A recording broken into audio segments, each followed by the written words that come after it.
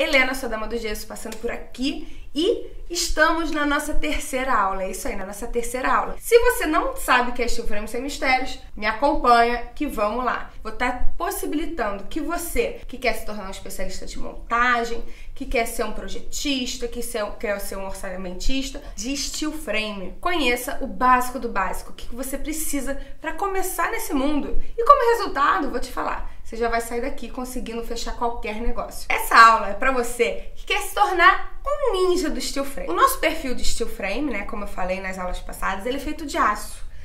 Mas ele também é revestido com zinco. Se você olhar, todas as faces deles são revestidas com zinco. Por que zinco? Para que serve zinco? Ele é um material de sacrifício. O que, que o material de sacrifício faz?